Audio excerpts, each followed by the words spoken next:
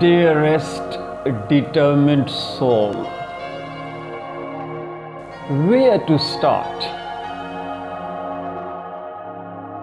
It was once said that the moral test of government is how that government treats those who are in the dawn of life the children, those who are in the twilight. of life, the elderly, and those who are in the shadows of life, the sick, the needy, and the handicapped.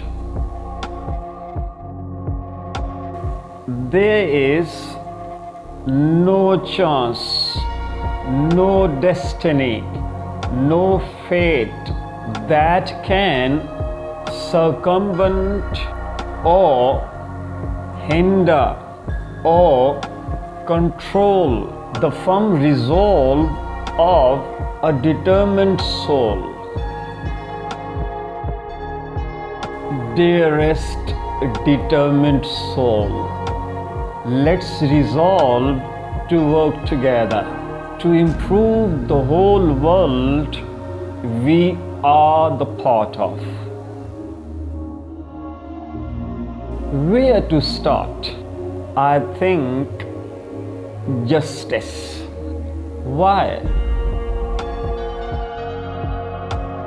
Justice is the sum of all moral duty.